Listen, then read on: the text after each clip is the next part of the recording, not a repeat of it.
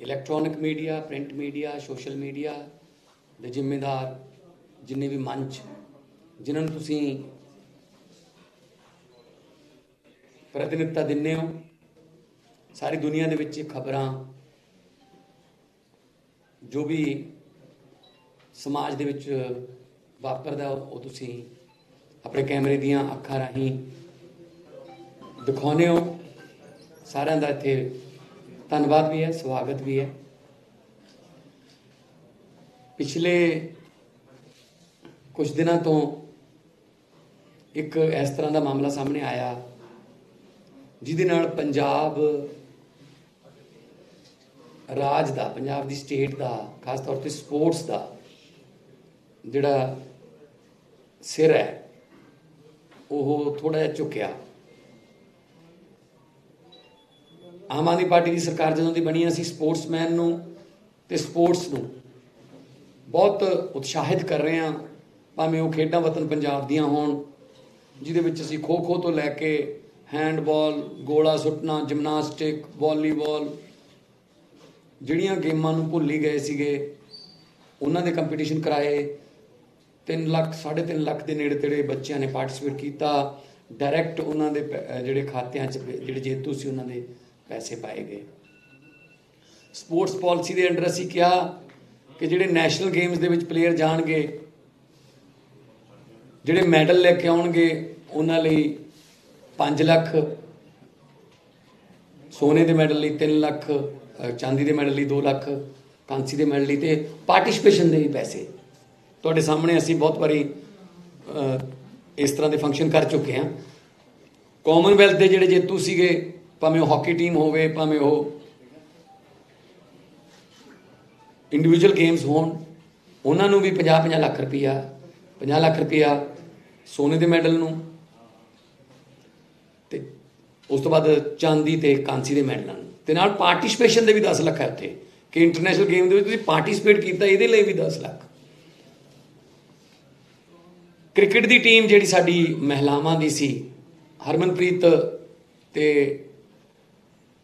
ਇੱਕ ਕੁੜੀ ਸਾਡੇ ਪੰਜਾਬ ਦੀ ਦਿਓਲ, ਦੋ ਕੁੜੀਆਂ ਰਿਪਰੈਜ਼ੈਂਟ ਕਰ ਰਹੀਆਂ ਸੀ ਉਸ ਵਰਲਡ ਕੱਪ ਨੂੰ, ਜਿਹੜਾ ਹੋਇਆ ਸੀਗਾ, ਉਹਦੇ ਚੋਂ ਸੈਕੰਡ ਨੰਬਰ ਤੇ ਲਏ ਸੀ। ਤਾਂ ਅਸੀਂ ਇੰਡੀਵਿਜੂਅਲੀ ਉਹਨਾਂ ਨੂੰ ਪੈਸੇ ਦਿੱਤੇ ਤੇ ਇੰਟਰਨੈਸ਼ਨਲੀ ਜਦੋਂ ਹਾਕੀ ਟੀਮ ਨੇ ਚਾਂਦੀ ਦਾ ਮੈਡਲ ਜਿੱਤਿਆ, ਤਾਂ ਅਸੀਂ ਬਜਾਏ ਇਸ ਦੇ ਕਿ ਟੀਮ ਨੂੰ ਦਈਏ, ਜਿੰਨੇ ਪਲੇਅਰ ਪੰਜਾਬ ਦੇ ਸੀ, ਸਾਰਿਆਂ ਨੂੰ 40 40 ਲੱਖ ਰੁਪਏ ਦਿੱਤਾ ਸੀ। ਨਾ ਕਿ ਟੀਮ ਨੂੰ ਦਿੱਤਾ। ਇੰਡੀਵਿਜੂਅਲੀ ਦੇ ਪੈਸੇ ਦਿੱਤੇ ਸੋ ਅਸੀਂ ਚਾਹੁੰਦੇ ਹਾਂ ਕਿ ਪੰਜਾਬ ਜਿਹੜਾ ਸਪੋਰਟਸ ਦੇ ਵਿੱਚ ਅੱਗੇ ਆਵੇ। ਆਉਣ ਵਾਲੇ ਦਿਨਾਂ 'ਚ ਬਹੁਤ ਸਾਰੇ ਸਟੇਡੀਅਮ, ਬਹੁਤ ਸਾਰੇ ਟਰੈਕਸ ਬਣ ਰਹੇ ਨੇ।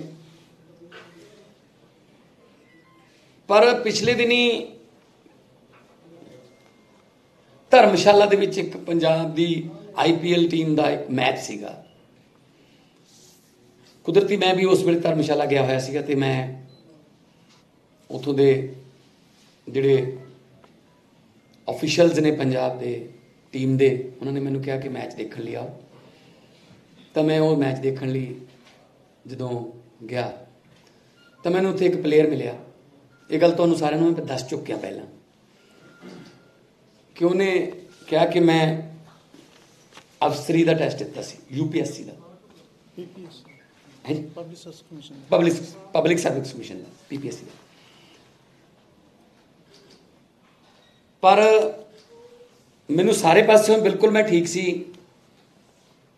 ਮੈਂ ਉਹਦਾ ਪਲੇਅਰ ਦਾ ਨਾਮ ਦੱਸ ਦੇਣਾ ਚਾਹੁੰਦਾ। ਜਸਿੰਦਰ ਸਿੰਘ। ਜਸਇੰਦਰ ਸਿੰਘ। ਇਹ ਕਿੰਗਸ 11 ਪੰਜਾਬ ਦੇ ਵਿੱਚ ਇਹ ਇਹਦੀ ਸ਼ਮੂਲੀਅਤ ਹੈ।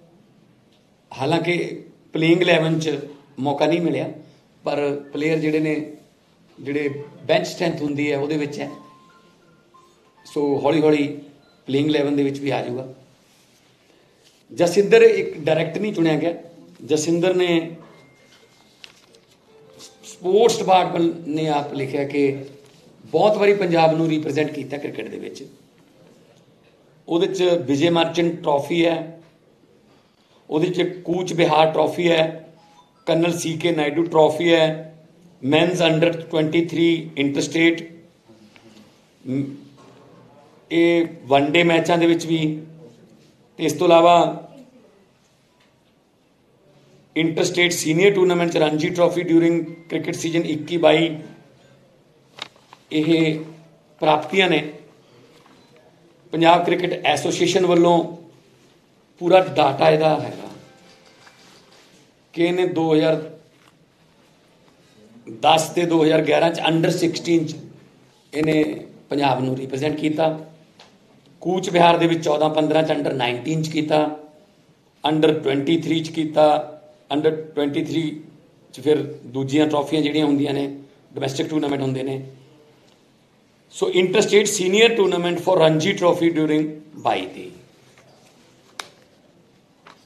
ਸਪੋਰਟਸ ਡਾਇਰੈਕਟੋਰੇਟ ਪੰਜਾਬ ਦਾ ਸਰਟੀਫਿਕੇਟ ਹੈ, ਜਿਹਦੇ ਚ ਜਸਿੰਦਰ ਨੂੰ ਜਿਹੜਾ ਕ੍ਰਿਕਟ ਦੇ ਵਿੱਚ ਗ੍ਰੇਡੇਸ਼ਨ ਬੀ ਗ੍ਰੇਡੇਸ਼ਨ ਦਿੱਤੀ ਹੋਈ ਹੈ ਪੰਜਾਬ ਸਟੇਟ ਨੇ ਆ ਰੋਲ ਨੰਬਰ ਇਹਦਾ ਜਿਸ ਵੇਲੇ ਐਗਜ਼ਾਮ ਦੇਣਾ ਸੀ।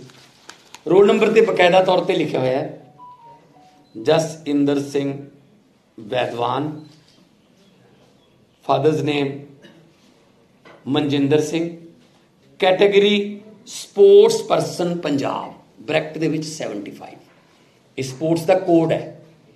ਇਹ ਉਹਦਾ ਰੋਲ ਨੰਬਰ ਦਾ ਆਈ ਕਾਰਡ ਹੈ, ਜਿਹਨੂੰ ਦਿਖਾ ਕੇ ਐਗਜ਼ਾਮ ਦਿੱਤਾ ਜਾਂਦਾ ਅੰਦਰ ਐਗਜ਼ਾਮੀਨੇਸ਼ਨ ਸੈਂਟਰ 'ਚ ਤੁਸੀਂ ਪਹੁੰਚਦੇ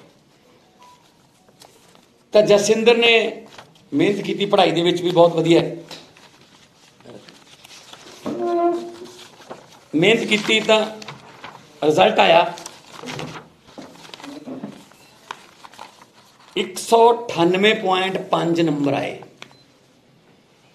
ਤੇ ਜਿਹੜਾ ਸਪੋਰਟਸ ਪਰਸਨ ਪੰਜਾਬ ਦਾ ਕੈਟਾਗਰੀ ਕੋਡ 75 ਦਾ ਕੱਟ ਆਫ ਮਾਰਕਸ ਨੇ, ਘੱਟ ਤੋਂ ਘੱਟ 132.5 ਨੇ।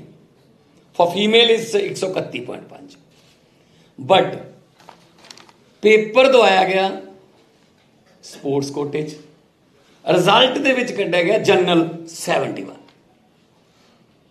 ਜੇ ਸਪੋਰਟਸ ਦੇ ਵਿੱਚ ਇਸੇ ਰਿਜ਼ਲਟ ਨੂੰ ਕਾਊਂਟ ਕੀਤਾ ਜਾਵੇ, ਤਾਂ ਹੀ ਇਜ਼ ਅ ਟਾਪਰ ਇਹਨੇ 198.5 ਨੰਬਰ ਲਏ ਨੇ। ਪਰ ਜਨਰਲ ਦੇ ਵਿੱਚ ਕਿਉਂਕਿ ਕੱਟ ਆਫ ਜ਼ਿਆਦਾ ਹੈ, ਤਾਂ ਦਿਲ ਟੁੱਟ ਗਿਆ। ਦਿਲ ਟੁੱਟ ਗਿਆ ਤਾਂ ਮਿਨਿਸਟਰਾਂ ਕੋਲ ਜਾਣਾ ਸ਼ੁਰੂ ਹੋ ਗਿਆ। ਚੀਫ ਮਿਨਿਸਟਰ ਸਾਹਿਬ ਕੋਲ ਗਏ, ਉਸ ਵੇਲੇ ਦੇ ਕੈਪਟਨ ਅਮਰਿੰਦਰ ਸਿੰਘ ਜੀ।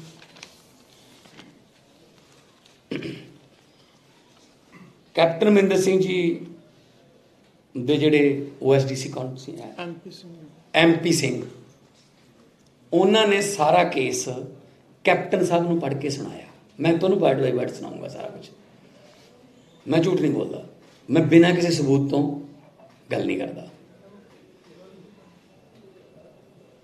ਤਾਂ ਉਹ ਕਹਿੰਦੇ ਜੀ ਕ੍ਰਿਕਟ ਨੂੰ ਤਾਂ ਸਪੋਰਟਸ ਹੀ ਨਹੀਂ ਮੰਨਦੇ ਸੀ ਐਮਪੀ ਸੇ ਜਿਹੜੇ ਡਿਪਾਰਟਮੈਂਟ ਵਾਲਿਆਂ ਨੇ ਕਿਹਾ ਨਾ। ਪੀਪੀਐਸਸੀ ਪੀਪੀਐਸਸੀ ਕਹਿੰਦੇ।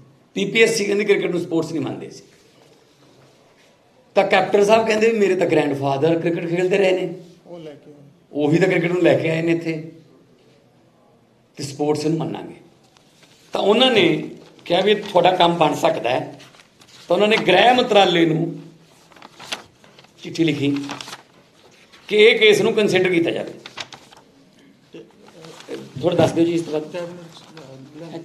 ਦੱਸ ਦਿਓ ਦੱਸ ਦਿਓ ਰਾਮ ਤੁਸੀਂ ਦੱਸੋ ਨਾ ਕੈਬਨਿਟ ਚ ਲਿਆਂਦਾ ਜਾਵੇ ਕੇਸ ਕਿ ਉਹਨਾਂ ਨੇ ਕਿਹਾ ਕਿ ਅਗਲੀ ਕੈਬਨਿਟ ਦੇ ਵਿੱਚ ਇਹ ਕੇਸ ਲਿਆਵਾਂਗੇ। ਆ ਲੈਟਰ ਹੈ ਜੀ। ਰਿਹਾਇਸ਼ ਤੇ ਆਪਣੀ ਰਿਹਾਇਸ਼ ਤੇ ਉਹਨਾਂ ਨੇ ਮਿਲੇ ਤੇ ਤਾ- ਤੱਥਾਂ ਦੀ ਘੋਖ ਕਰਕੇ ਤਸਦੀਕ ਸ਼ੁਦਾ ਕਾਪੀਆਂ ਸਰਕਾਰ ਨੂੰ ਭੇਜੀਆਂ ਜਾਣ। ਇਹਨਾਂ ਨੂੰ ਇਹ ਕਿਹਾ ਗਿਆ ਕਿ ਅਗਲੀ ਕੈਬਨਿਟ ਦੇ ਵਿੱਚ ਲਿਆ ਕੇ ਤੇ ਇਹ ਐਲੀਜੀਬਲ ਜਿਹੜਾ ਕੇਸ ਹੈ ਇਹ ਤੁਹਾਡਾ ਹੋ ਜਾਊਗਾ ਕੰਮ। ਚਾਹ ਚੜਿਆ। ਪਰ ਕੈਪਟਨ ਸਾਹਿਬ ਬਦਲਦੇ ਨੌਕਰੀ ਦੇਣ ਵਾਲੀ ਬਦਲ ਗਿਆ। ਚਲੋ ਕੋਈ ਗੱਲ ਨਹੀਂ। ਚੰਨੀ ਸਾਹਿਬ ਬਣ ਗਏ ਸੀ, ਹੋਰ ਵੀ ਜ਼ਿਆਦਾ ਚਾਹ ਚੜ ਗਿਆ। ਹਲਕਾ ਉਹਨਾਂ ਦਾ ਪੈਂਦਾ। ਹਲਕਾ ਪੈਂਦਾ ਉਹਨਾਂ ਦਾ। ਤਾਂ ਉਹਨਾਂ ਕੋਲੇ ਗਏ ਚੰਨੀ ਸਾਹਿਬ ਕੋਲੇ। ਉੱਥੇ ਐਸੇ ਜਗ੍ਹਾ ਤੇ ਸੀ? ਜਾਂ ਕੋ ਵਿੱਚ ਹਾਂ। ਆ ਜਿਹੜਾ ਕਮਰਾ ਹੈ। ਆ ਇੱਥੇ ਖੜੇ ਸੀ ਇਸ ਤਰ੍ਹਾਂ। ਤਾਂ ਅੰਦਰ ਮੀਟਿੰਗ ਹਾਂਜੀ। ਇੱਥੇ ਮਿਲੇ। ਤਾਂ ਇੱਥੇ ਕੇਸ ਪੜ੍ਹ ਕੇ ਸੁਣਾਇਆ। ਹੁਸਨ ਲਾਲ ਨੇ। ਹੁਸਨ ਲਾਲ ਪ੍ਰਿੰਸੀਪਲ ਸੈਕਟਰੀ ਸਾਹਮਣੇ ਹੁਸਨ ਲਾਲ ਨੇ ਪੜ੍ਹ ਕੇ ਸੁਣਾਇਆ ਜੀ ਪੇਪਰ। ਹਾਂ ਵੀ ਆਹ ਕੇਸ ਹੈ ਜੀ। ਚੰਨੀ ਸਾਹਿਬ ਕਹਿੰਦੇ ਵੀ ਕੰਮ ਤਾਂ ਬਣ ਸਕਦਾ ਹੈ ਤੁਹਾਡਾ। ਕਹਿੰਦੇ ਵੀ ਫਿਰ ਕਰੋ ਜੀ ਸਰ। ਕਹਿੰਦੇ ਵੀ ਨੌਕਰੀ ਤਾਂ ਬਣਦੀ ਹੈ ਤਾਂ ਅਗਲੀ ਕੈਬਨਿਟ 'ਚ ਅਸੀਂ ਲੈ ਆਵਾਂਗੇ। ਇੱਥੋਂ ਮੋੜ ਆਉਂਦਾ ਇੱਕ ਵੱਡਾ। ਫਿਰ ਉਹਨਾਂ ਨੇ ਕੀ ਕਿਹਾ ਜੀ? ਉਹ ਕਹਿੰਦੇ ਵੀ ਦੱਸੋ ਜਸਿੰਦਰ। ਆਰਾਮ ਨਾਲ ਬੋਲਦੇ ਆਰਾਮ ਨਾਲ। ਉਹ ਕਹਿੰਦੇ ਵੀ ਲੀਜੀਬਲ ਹੈ। ਤੇ ਕਿਹਨੂੰ ਮਿਲੋ? ਇਧਰ ਆਰਾਮ ਨਾਲ ਬੋਲ। ਮੈਨੂੰ ਕਿਹਾ ਗਿਆ ਵੀ ਆਪ ਮੇਰਾ ਨਾਮ ਲੈ। ਪਹਿਲਾਂ ਤਾਂ ਬੁਲਾਇਆ ਗਿਆ ਜੀ। ਇੱਕ ਮਿੰਟ ਬਾਜਵਾ ਸਾਹਿਬ ਪਲੀਜ਼ ਸੁਣ ਲਓ ਸਾਰਿਆਂ 'ਚ ਹੀ ਆਉਂਦਾ ਹੈ। ਮੇਰਾ ਨਾਮ ਲੈ ਕੇ ਬੋਲਿਆ ਗਿਆ ਅੰਦਰੋਂ ਵੀ ਇੱਥੇ ਖੜ ਕੇ ਕੌਣ ਆ? ਮੈਂ ਹੱਥ ਖੜਾ ਕੀਤਾ। ਤਾਂ ਫਿਰ ਮੈਨੂੰ ਬਾਹਰ ਲੈ ਜਾ ਗਿਆ ਬਾਕੀ ਦੱਸਣਗੇ ਸੀਐਮ ਸਾਹਿਬ ਨੂੰ ਮੈਂ ਸਾਰਾ ਇਹ ਕੀ ਕਿ ਭਤੀਜੇ ਨੂੰ ਮਿਲੋ। ਹਾਂਜੀ ਸਰ ਉਹ ਕਿ ਗੱਡੀ ਜਦੋਂ ਨਹੀਂ ਕਹਿੰਦੇ ਮੇਰੇ ਭਤੀਜੇ ਨੂੰ ਮਿਲ ਲਓ ਤੇ ਕੰਮ ਬਣ ਜਾਊਗਾ। ਤੇ ਭਤੀਜੇ ਨੇ ਕਾਗਜ਼ ਦੇਖੇ। ਭਤੀਜਾ ਸੀਗਾ ਕੌਣ? ਨਾਂ ਸੀ ਉਹਦਾ। ਜਸ਼ਨ ਸ਼ਾਇਦ ਜਸ਼ਨ ਜਸ਼ਨ। ਜਸ਼ਨ ਸੀ ਸ਼ਾਇਦ ਨਾਮ ਦਾ ਉਹ ਕਹਿੰਦਾ ਵੀ ਤੁਹਾਡਾ ਕੰਮ ਬਣ ਜਾਊਗਾ। ਆਈ ਸੀ। ਕਿ ਆਈ ਕਿਹਾ ਸੀ ਬਿੱਟੂ ਜੀ ਆਈ ਕਿਹਾ ਸੀ? ਵੀ ਇੰਨੇ ਲੱਗਣਗੇ। ਇਹਨਾਂ ਨੂੰ ਹੋਰ ਚਾ ਚੜ ਗਿਆ। ਇਹ ਤਾਂ ਕਹਿੰਦੇ ਜੀ ਹੁਣ ਲੈ ਆਉਣੇ ਤਾਂ ਇੱਥੋਂ 10 20 ਕਿਲੋਮੀਟਰ ਤਾਂ ਪਿੰਡ ਹੈ। ਕਹਿੰਦੇ ਨਹੀਂ ਨਹੀਂ ਨਹੀਂ ਨਹੀਂ, ਕੋਈ ਨਹੀਂ ਤੁਸੀਂ ਟਾਈਮ ਲੈ ਲਓ। ਪਰਸੋਂ ਨੂੰ ਮੀਟਿੰਗ ਹੋਊਗੀ। ਫਿਰ ਕੈਬਨਿਟ ਦੀ ਨੈਕਸਟ ਮੀਟਿੰਗ ਪਰਸੋਂ। ਕੈਬਨਿਟ ਦੀ ਨੈਕਸਟ ਮੀਟਿੰਗ ਪਰਸੋਂ ਉਦੋਂ ਤੱਕ ਤੁਸੀਂ ਅਰੇਂਜ ਕਰ ਲਓ। ਇਹ ਕਹਿੰਦੇ ਵੀ ਤਾਂ ਗੱਲ ਹੀ ਕੋਈ ਨਹੀਂ ਸੀ ਚਲੋ ਕੋਈ ਨਹੀਂ ਪਰਸੋਂ ਨੂੰ ਮਿਲ ਲਾਂਗੇ ਪਰਸੋਂ ਨੂੰ ਆ ਗਏ ਜੀ। ਤਾਂ ਉੱਥੇ ਉਹਨਾਂ ਦਾ ਜਿਹੜਾ ਭਤੀਜਾ ਸੀਗਾ ਉਹ ਕਹਿੰਦਾ ਆਓ ਜੀ ਫਿਰ ਗੱਡੀ ਚੱਲੀਏ। ਤੁਹਾਡੀ ਨੌਕਰੀ ਦਾ ਟਾਈਮ ਆ ਗਿਆ। ਗੱਡੀ। ਇਹ ਕਹਿੰਦੇ ਗੱਡੀ ਤਾਂ ਬਹੁਤ ਦੂਰ ਖੜੀ ਹੈ। ਇਹ ਸੀ ਨਾ। ਜੀ। ਕਹਿੰਦੇ ਹਿਸਾਬ ਕਿਤਾਬ ਫਿਰ ਕਿਤੇ ਕਰਾਂਗੇ? ਕਹਿੰਦੇ ਇੱਥੇ ਕਰ ਲੈਣੇ ਐਡੀ ਕਿ ਦੂਰ ਕਿੱਥੇ ਜਾਣਾ? ਕਹਿੰਦੇ ਨਹੀਂ ਫਿਰ ਜਿਹੜਾ ਹਿਸਾਬ ਕਿਤਾਬ ਹੈ। ਕਹਿੰਦੇ ਮੇਰੀ ਜੇਬ 'ਚ ਹੀ ਹੈ। ਉਹ ਹੈਰਾਨ ਹੋ ਗਿਆ ਵੀ ਐਂ ਵਾਲਾ ਕਿਤੇ ਜੇਬ 'ਚ ਹੀ ਆ ਜਾਂਦਾ ਹੁੰਦਾ। ਇਹ ਕਹਿੰਦੇ ਮੇਰੀ ਜੇਬ 'ਚ ਹੀ ਹੈ। ਜਦੋਂ ਇਹਨਾਂ ਨੇ ਦਿਖਾਇਆ ਆਮ ਸਧਾਰਨ ਘਰਾਂ ਲਈ ਤਾਂ ਜੀ ਉਹ ਵੀ ਬਹੁਤ ਜ਼ਿਆਦਾ ਹੈ ਇੱਥੇ ਲੋਕ ਠੀਕਰੀਆਂ ਨਹੀਂ ਗਿਣਦੇ ਇੰਨੀਆਂ ਜਿੰਨੀਆਂ ਉਹ ਕਹਿੰਦੇ ਸੀ ਇੰਨਾ ਕੁਝ ਵੀ ਨਹੀਂ ਹੁੰਦਾ ਤਾਂ ਇਹਨਾਂ ਨੇ ਜਦੋਂ ਦਿਖਾਇਆ ਉਹ ਕਹਿੰਦਾ ਵੀ ਖੜ ਜਾਓ ਇੱਥੇ ਉਸ ਤੋਂ ਬਾਅਦ ਉਹਨਾਂ ਨੇ ਅੰਦਰ ਸੀਐਮ ਸਾਹਿਬ ਨੂੰ ਦੱਸਿਆ ਚੰਨੀ ਸਾਹਿਬ ਨੂੰ ਚੰਨੀ ਸਾਹਿਬ ਬਾਹਰ ਆ ਕੇ ਇਹਨਾਂ ਨੂੰ ਕਹਿੰਦੇ ਨੇ ਕਿ ਤੁਹਾਡਾ ਮੁੰਡਾ 올림픽 ਚੰਪ- ਅਹ ਉਹ ਇੱਥੇ ਮੈਂ ਅਸੀਂ ਖੜੇ ਸੀ ਕਾਫੀ ਹੋਰ ਖੜੇ ਸੀ ਮੇਰੇ ਦੋ ਦੋ- ਦੋ ਤਿੰਨ ਦੋਸਤ ਵੀ ਆਏ ਹੋਏ ਆ, ਇਹ ਵੀ ਨਾਲ ਖੜੇ ਸੀਗੇ ਇੱਥੇ। ਬਾਹਰੋਂ ਆਏ ਇੱਕੋ ਦਮ ਵੀ ਤੇਰਾ ਮੁੰਡਾ ਬਹੁਤ 올림픽 ਖੇਡਿਆ ਵੀ 골ਡ ਮੈਡਲ ਜਿੱਤਿਆ ਹੈ ਜਿਹੜਾ ਤੈਨੂੰ ਮੈਂ ਨੌਕਰੀ ਦੇ ਦਮ ਮਤਲਬ ਨੌ ਕਾਫੀ ਕੁਝ ਬੋਲੇ ਹੋ ਅਸੀਂ ਠੰਡੇ ਹੋ ਗਏ ਮੈਂ ਇਸ ਚੀਜ਼ ਤੇ। ਚੰਨੀ ਸਾਹਿਬ ਨੇ ਇਸ ਜਗ੍ਹਾ ਤੇ। ਤੇ ਇਲਾਕੇ ਦੇ ਜਿਹੜੇ ਸਾਡੇ ਐਮਐਲਏ ਸੀ ਉਹ ਵੀ ਕੋਲ ਖੜੇ ਸੀ ਬਲਵੀਰ ਸਿੰਘ ਸਿੱਧੂ। ਤੁਸੀਂ ਸਾਰੇ ਜਿਹੜੇ ਉਹਨਾਂ ਨੂੰ ਪੁੱਛ ਲਓ ਕਿ ਇਹ ਘਟਨਾ ਹੋਈ ਸੀ ਕਿ ਨਹੀਂ ਹੋਈ ਸੀ? ਉਹ ਨਾਲ ਸੀ ਉਦੋਂ ਜਦੋਂ ਉੱਠ ਕੇ ਆਏ ਬਾਹਰ। ਪੈਸੇ ਪਹਿਲਾਂ ਜਸ਼ਨ ਨੇ ਜਸ਼ਨ ਨੇ ਮੰਗੇ ਸੀ। ਦੇਖੋ ਮੈਂ ਸੀਐਮ ਸਾਹਿਬ ਨੇ ਸਾਰਾ ਕੁਝ ਦੱਸਤਾ। ਹਾਂਜੀ। ਉਹ ਦੱਸਤਾ ਜੋ। ਦਰਸ਼ਨ ਨੇ ਕਹਿ ਦੋ ਇਹ 2 ਲੱਖ ਲੈ ਕੇ ਆ ਗਏ। ਇਹ ਕੱਲ ਉਦੋਂ ਕਿਸੇ ਨੂੰ ਡਿਸਕਲੋਜ਼ ਤਾਂ ਨਹੀਂ ਕੀਤੀ ਵੀ ਉਹ ਸਾਡੇ ਲਈ ਤਾਂ ਦੇਖੋ ਜੀ 3 ਸਾਲਾਂ ਤੋਂ ਘਸ ਰਹੇ ਸੀਗੇ ਵੀ ਆ ਕੀ ਚੀਜ਼ ਹੈ 2 ਸਾਲਾਂ ਤੋਂ ਲਗਾਤਾਰ। ਕਿਹੜੀ ਪੋਸਟ ਵਾਸਤੇ ਮੰਗਦੇ ਸੀ ਤੁਹਾਨੂੰ ਜਿਹੜੀ ਦੱਸਤਾ ਡਿਜ਼ਰਵ ਕਰਦੀ ਹੈ ਜੀ। ਆ ਪੀਪੀਐਸ ਜਿਹੜੀ ਮੈਂ ਹੁਣ ਦੇਵਾਂਗਾ ਪੋਸਟ ਤਾਂ ਉਹੀ ਹੈ ਨਾ ਜੀ। ਪੀਪੀਐਸਸੀ ਲਈ ਸੀ ਸਪੋਰਟਸ ਕੋਟੇ ਚੋਂ ਪੀਪੀ ਪੀਪੀਐਸਸੀ ਦਾ ਜਿਹੜਾ ਕਲੀਅਰਡ ਹੈ ਉਹਨੂੰ ਜਿਹੜੀਆਂ ਪੋਸਟਾਂ ਮਿਲਣਗੀਆਂ ਅਸੀਂ ਸਪੋਰਟਸ ਡਿਪਾਰਟਮੈਂਟ ਤੇ ਹੋਮ ਡਿਪਾਰਟਮੈਂਟ ਨਾਲ ਗੱਲ ਕਰਾਂਗੇ। ਅਸੀਂ ਤਾਂ ਦੇਵਾਂਗੇ ਪਰ 3.5 ਸਾਲ ਹੋ ਗਏ ਜੀ। ਕੀ ਆਹ ਚੀਜ਼ ਸਾਡੇ ਜ਼ਿੰਦਗੀਆਂ ਬਰਬਾਦ ਕਰ ਦੋਗੀ ਚੰਨੀ ਸਾਹਿਬ ਨੇ ਜਾ ਕੇ ਸਹੁੰ ਖਾਦੀ ਸੀ ਹੁਣ ਵੀ ਪਲੇਅਰ ਪੇਸ਼ ਕਰੋ ਆ ਲਓ ਜੀ ਪਲੇਅਰ ਆਈ ਝੂਠ ਬੋਲਦੇ ਨੇ ਇਹ ਪਰਿਵਾਰ। ਭਗਤਾਂ ਦਾ ਪਰਿਵਾਰ ਮੰਨਿਆ ਜਾਂਦਾ ਹੈ ਪਿੰਡਾਂ 'ਚ ਇਹਨਾਂ ਨੂੰ ਕਹਿੰਦੇ ਨੇ। ਭਗਤ ਦਾ ਪਰਿਵਾਰ, ਰੱਬ ਨੂੰ ਮੰਨਣ ਵਾਲੇ, ਸੇਵਾ ਕਰਨ ਵਾਲੇ ਲੋਕ ਨੇ। ਦੋਹੇ ਟਾਈਮ ਸਰਬੱਤ ਦਾ ਭਲਾ ਮੰਗਣ ਵਾਲਾ ਪਰਿਵਾਰ ਹੈ। ਇਹਨਾਂ ਨੂੰ ਕੀ ਪਤਾ ਸੀਗਾ ਵੀ ਐ ਇਹਦਾ ਮਤਲਬ ਕੋਈ ਹੋਰ ਹੁੰਦਾ? ਉਹ ਕਹਿੰਦਾ ਵੀ ਇਹਦਾ ਮਤਲਬ 2 ਕਰੋੜ ਸੀਗਾ।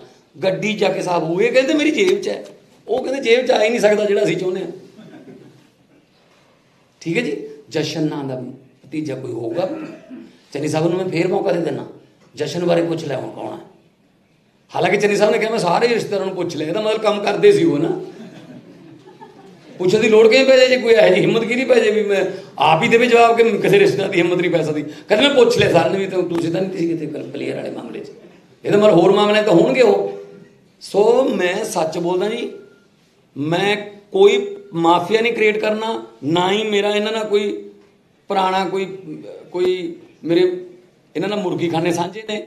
ਮੈਨੂੰ ਤਾਂ ਪਲੇਅਰ ਮੇਰੇ ਕਿੱਥੇ ਮਿਲੇ ਸੀਗੇ ਜਸਿੰਦਰ ਅਹ 19 ਤਰੀਕ ਨੂੰ ਅਸੀਂ ਜਿੱਥੇ ਸਾਡੀ ਸਟੇ ਸੀਗੀ ਟੀਮ ਦੀ ਰੈਡੀਸਨ ਬਲੂ ਹੋਟਲ ਸੀਗਾ, ਉੱਥੇ ਸਰ ਜਾਣ ਲੱਗੇ ਸੀਗੇ। ਮੈਂ ਕਾਫੀ ਦੂਰ ਖੜਾ ਸੀਗਾ ਤੇ ਸਰ ਬਹਿ ਗਏ ਸੀਗੇ ਗੱਡੀ 'ਚ ਤੇ ਮੈਂ ਇਸ਼ਾਰਾ ਕੀਤਾ ਸੀਗਾ, ਮਤਲਬ ਐਗਜ਼ੈਕਟਲੀ ਇਦਾਂ ਕੀਤਾ ਸੀਗਾ ਤੇ ਸਰ ਭੱਜ ਕੇ ਆ ਗਏ ਇਕੱਲੇ ਹੀ।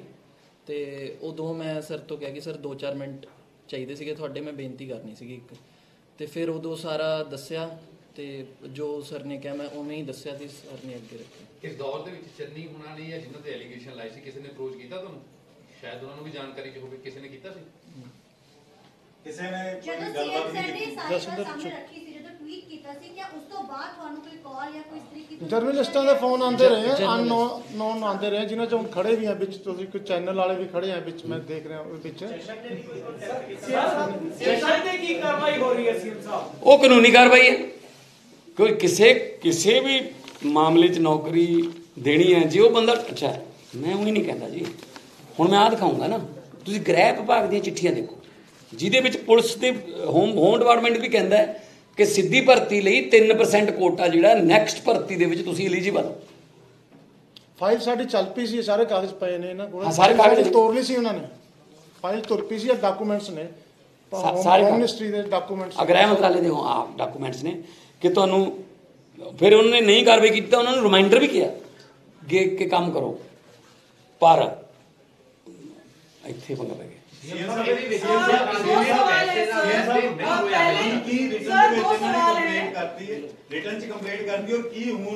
ਦੇਖੋ। ਦੇਖੋ, ਇਹ ਜਿਹੜੇ ਤੁਹਾਡੇ ਸਾਹਮਣੇ ਬੈਠੇ ਆ ਰਿਟਰਨ ਨਹੀਂ ਹੁੰਦਾ। ਜਦੋਂ ਟੀਵੀ ਤੇ ਆ ਕੇ ਇਹਨਾਂ ਨੇ ਦੱਸਤਾ, ਮੈਂ ਤੁਹਾਡੇ ਸਾਹਮਣੇ ਇੱਕ ਵਾਰੀ ਤਸਦੀਕ ਕਰਾ ਦਿੰਨਾ ਕਿ ਜੋ ਮੈਂ ਬੋਲਿਆ ਜਸਿੰਦਰ ਤੇ ਉਹਨਾਂ ਦੇ ਪਿਤਾ ਜੀ ਬੈਠੇ ਨੇ। ਜੋ- ਜੋ ਮੈਂ ਬੋਲਿਆ ਤੁਸੀਂ ਉਹ ਚੋਂ ਉਹ 'ਚ ਕੋਈ ਅਮੈਂਡਮੈਂਟ ਜਾਂ ਕੋਈ ਜੋ ਗਲਤ ਗੱਲ ਕਹੀ ਹੈ।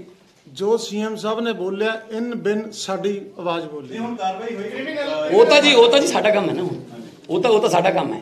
ਪਰ ਨਾਟ ਓਨਲੀ ਕਾਰਵਾਈ ਡਿਜ਼ਰਵਿੰਗ ਪਲੇਅਰ ਨੂੰ ਨੌਕਰੀ ਕਿਉਂ ਨਹੀਂ ਮਿਲੀ? ਇਹਦੇ ਵਾਸਤੇ ਅਫਸਰਾਂ ਹਾਲਾਂਕਿ ਅਫਸਰਾਂ ਤਾਂ ਦੱਸਿਆ ਇਹਨਾਂ ਨੇ ਕਿ ਉਹਨਾਂ ਨੂੰ ਤਾਂ ਪੜ੍ਹ ਕੇ ਸੁਣਾਤਾ ਸੀ। ਐਲੀਜੀਬਲ ਕੇਸ ਹੈ ਜੀ। ਪ੍ਰੋਬਲਮ ਅਫਸਰਾਂ ਦੀ ਨਹੀਂ ਹੁੰਦੀ। ਅਫਸਰ ਤਾਂ ਜੋ ਕਹੂਗਾ, ਉਹ ਕਰ ਦਿੰਦੇ ਨੇ। ਪ੍ਰੋਬਲਮ ਇੱਥੇ ਭਤੀਜੇ, ਭਾਣਜੇ ਜਵਾਈ ਭਾਈ, ਸਾਲੇ, ਹੈਨਾ? ਉਹਨਾਂ ਦੇ ਪੰਗਾ ਪੈਂਦਾ ਹੁਣ ਉਹਦੇ ਕੋਲੇ ਕਿਹੜੀ ਕਨਸਟੀਟਿਊਸ਼ਨ ਪੋਸਟ ਸੀ, ਐ ਕਹਿਣ ਵਾਲੇ ਕੋਲੇ? ਪੋਸਟ ਦਿੱਤੀ ਗਈ ਨਾ ਉਹਨੂੰ। ਪਹਿਲੀ ਗੱਲ ਤਾਂ ਜੇ ਚ- ਨੌਕਰੀ ਦੇਣੀ ਸੀ ਐਲੀਜੀਬਲ ਹੈ ਭਾਈ, ਲਿਆਓ ਵੀ। ਹੁਸਨ ਲਾਲ ਜੀ ਰეკਮੈਂਡ ਕਰੋ। ਅਗਲੀ ਗਵਰਨਮੈਂਟ ਚ ਲੈ ਕੇ ਖਤਮ ਕਰੋ ਇਹ ਮਾਮਲੇ ਨੂੰ। ਉਹਨੇ ਉਧਰ ਕਿਉਂ ਭੇਜਿਆ ਵੀ ਉਹ ਉਧਰ ਮਿਲਣਾ ਤੇ ਫਿਰ ਉਹਨੇ ਜਿਸ ਦਿਨ ਮਿਲੇ ਤੀਜੇ ਦਿਨ ਉਹਦੇ ਨੂੰ ਕਿਹਾ ਕਿ ਗੱਡੀ 'ਚ ਜਾਂਦੇ ਆ। ਉਹ ਕੀ ਕਹਿੰਦੇ ਇੱਥੇ ਹੀ ਕਰ ਲੈਣੇ ਆਪਾਂ ਸਾਹਿਬ ਉਹ ਮੇਰੀ ਜੇਬ 'ਚ ਹੀ ਹੈ ਥੋੜਾ ਕਲੀਅਰ ਕਰ ਦਿਓ ਸੀਐਮ ਸਾਹਿਬ ਐਫ ਆਈ ਆਰ ਚੰਨੀ ਤੇ ਹੋਊ ਤੇ ਭਤੀਜੇ ਦੇ ਨਾਲ ਹੋਊ ਜਾਂ ਦੋਨਾਂ ਦੇ ਹੋਊ? ਤੁਸੀਂ ਤਾਂ ਹੁਣ ਜੇਲ੍ਹ ਵੀ ਕਲੀਅਰ ਕਰਾਉਣ ਨੂੰ ਫਿਰਦੇ ਹੋ। ਥੋੜਾ ਟਾਈਮ ਤਾਂ ਦਿਓ ਨਾ ਹੁਣ। ਪਹਿਲਾਂ ਆ ਤਾਂ ਕਲੀਅਰ ਕਰਤਾ ਨਾ ਤੁਸੀਂ ਕਹਿੰਦੇ ਸੀ ਆਊਗਾ ਪਲੇਅਰ ਜਾਂ ਨਹੀਂ?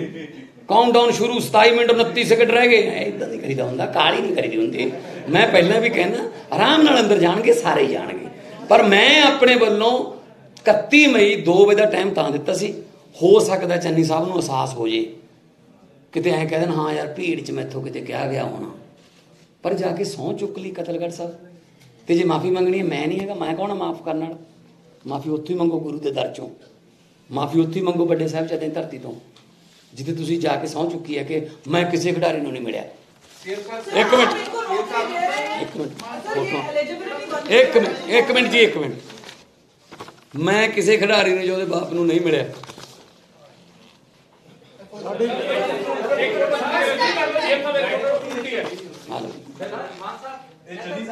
ਅੱਜ ਹੈ ਜੀ? ਤੁਹਾਨੂੰ ਕੌਣ ਲੱਗਦਾ? ਇਹ ਹੈ ਜੀ? ਹਾਂ ਹੈਗੇ ਜੀ ਪੁੱਛੋ ਤੁਸੀਂ ਉਹਨਾਂ ਨੂੰ ਅੱਜ ਹੀ ਪੁੱਛੋ ਸਾਰੇ ਜਣੇ ਵੀ ਤੁਸੀਂ ਹੈ ਸੀ ਕਿ ਨਹੀਂ ਸੀਗੇ। ਤੁਸੀਂ ਪੁੱਛੋ ਤੁਸੀਂ ਮੀਡੀਆ ਤੁਸੀਂ ਪੁੱਛੋ ਉਹਨਾਂ ਨੂੰ। ਤੁਸੀਂ ਬਲਬੀਰ ਸਿੱਧੂ ਨੂੰ ਪੁੱਛਿਆ ਵੀ ਇੱਥੇ ਹੈਗੇ ਸੀ? ਔਰ ਤਰੀਕ ਵੀ ਦੱਸ ਦਿੰਨੇ ਕੀ ਕੀ ਹਾਂ ਉਸ ਦਿਨ ਵੀ ਸੀ। ਕੀ ਕਰਨ ਆਏ ਸੀ? ਸਮਝ ਆਰਾਮ ਨਾਲ ਆਰਾਮ ਨਾਲ, ਆਰਾਮ ਜ਼ਿਲ੍ਹਾ ਸਿਵਲ ਹਸਪਤਾਲ ਸਾਹਿਬਜ਼ਾਦਾ ਅਜੀਤ ਸਿੰਘ ਨਗਰ ਦਾ ਨੀਂਹ ਪੱਥਰ ਸਰਜਾ ਚੰਨੀ ਸਿੰਘ ਚੰਨੀ ਮਾਨਯੋਗ ਮੁੱਖ ਮੰਤਰੀ ਪੰਜਾਬ ਜੀ ਵੱਲੋਂ ਸ਼੍ਰੀ ਓਪੀ ਸੋਨੀ ਲੋ ਮਾਨਯੋਗ ਉਪ ਮੁੱਖ ਮੰਤਰੀ ਪੰਜਾਬ ਅਤੇ ਸਰਦਾਰ ਬਲਵੀਰ ਸਿੰਘ ਸਿੱਧੂ ਐਮਐਲਏ ਐਸਐਸ ਨਗਰ ਦੀ ਹਾਜ਼ਰੀ ਚ ਮਿਤੀ 9/11/2021 ਨੂੰ ਆਪਣੇ ਘਰ ਕਮਲਾ ਨਾਲ ਕੀਤਾ ਗਿਆ ਹੈ। ਇਹ ਉੱਥੇ ਦੀ ਫੋਟੋ ਹੈ ਜੀ। ਸਾਹਿਬ ਦੀ ਵੀ ਨਾਲ ਹੀ ਹੈ ਹਾਂਜੀ? ਸੋਨੀ ਸਾਹਿਬ ਦੀ ਵੀ ਨਾਲ ਫੋਟੋ ਵਿੱਚ। ਸੋਨੀ ਸਾਹਿਬ ਦੀ ਨਾਲ ਹੀ ਹੈ ਇਹ ਕਿਸੇ ਨੇ ਖਿੱਚੀ ਹੈ ਜਰਨਲਿਸਟ ਇਹ ਕਿਸੇ ਨੇ ਖਿੱਚੀ ਹੈ ਫੋਟੋ ਕਿਉਂਕਿ ਸਾਡੀ 10 ਮਿੰਟ ਮੀਟਿੰਗ ਹੋਈ ਲਗਾਤਾਰ। ਉੱਥੇ ਖੜ ਕੇ ਪਹਿਲਾਂ ਵੀ ਹੋ ਚੁੱਕੀ ਸੀ ਜਿਹੜੀ ਸੁਣੀ ਗਈ ਹੈਗੀ ਆ। ਸਿੱਧੂ ਨੇ। ਤਾਂ ਜਵਾਬ ਹੀ ਦਿੱਤਾ ਕਹਿੰਦਾ ਮੈਥੋਂ ਤਾਂ ਹੋਣਾ ਨਹੀਂ ਕੰਮ ਇਹ। ਇਹ ਵੀ ਦੱਸਦੇ ਨੇ। ਸਿੱਧੇ ਬਲਵੀਰ ਸਿੱਧੂ ਨੂੰ ਕਹਿੰਦਾ ਸੀ ਭਰਾਵਾ ਇੱਧਰ ਹੀ ਸਿੱਧਾ ਕਰ ਲਓ ਇਹਨਾਂ ਦੇ ਰੇਟ ਉਹ ਹੋਰ ਸਿੱਧੂ ਸਾਹਿਬ ਨੇ ਹੱਥ ਖੜੇ ਕਰਤੇ ਕਿਉਂਕਿ ਜਦੋਂ ਆਏ ਆ ਉਹ ਮਤਲਬ ਉਹਨਾਂ ਨੂੰ ਪਤਾ ਨਹੀਂ ਲੱਗਿਆ ਜਦੋਂ ਮੇਰੀ ਨੌਨਸੈਂਸ ਟਾਕ ਕੀਤਾ ਉਹਨਾਂ ਨੇ ਆ ਕੇ ਉਹ ਵੀ ਆ ਕੇ ਇੱਕ ਮਿੰਟ ਜੀ ਉਹ ਵੀ ਹੈਰਾਨ ਹੋ ਗਏ ਵੀ ਇਹ ਹੋਇਆ ਕੀ ਹੈ ਕੋਰੀਡੋਰ ਦੇ ਵਿੱਚ ਆ ਕੇ ਉੱਥੇ ਸਾਹਮਣੇ ਦੋ ਕਮਰੇ ਜਿਹੜੇ ਹੈਗੇ ਉਹਦੇ ਇੱਥੇ ਆਏ ਸੀਗੇ ਜੀ। ਤੁਸੀਂ ਇਹਨਾਂ ਦੀ ਵੀ ਸ਼ੂਟਿੰਗ ਕਰਦੇ ਇੱਥੇ ਘਟਨਾ ਵਾਲੀ ਸਥਾਨ ਵੀ ਦਿਖਾ ਦਿਓ। ਥੈਂਕ ਯੂ ਵੈਰੀ ਮਚ ਅਸੀਂ ਪ੍ਰੋਸੈਸ ਸਪੋਰਟਸ ਡਿਪਾਰਟਮੈਂਟ ਤੇ ਹੋਮ ਡਿਪਾਰਟਮੈਂਟ ਦੇ ਵਿੱਚ ਇਹ ਜਿਹੜੀ ਐਲੀਜੀਬਿਲਟੀ ਹੈ, ਉਹਦੇ ਜਿਹੜੇ ਸਾਰੇ ਟੈਸਟ ਨੇ, ਉਹ ਆਲਰੇਡੀ ਗਵਰਨਮੈਂਟ ਵੱਲੋਂ ਕਲੀਅਰ ਕੀਤਾ ਹੋਇਆ ਹੈ। ਅਸੀਂ ਉਹਨੂੰ ਚੈੱਕ ਕਰਕੇ not only him not only him ਜਿੰਨੇ ਵੀ ਸਪੋਰਟਸ ਪਰਸਨ ਫਿਊਚਰ 'ਚ ਨੇ, ਜਿਹੜੇ ਜਿਨ੍ਹਾਂ ਨੇ ਦੇਸ਼ ਨੂੰ ਜਾਂ ਪੰਜਾਬ ਨੂੰ ਰਿਪਰੈਜ਼ੈਂਟ ਕੀਤਾ ਅਸੀਂ ਨੌਕਰੀ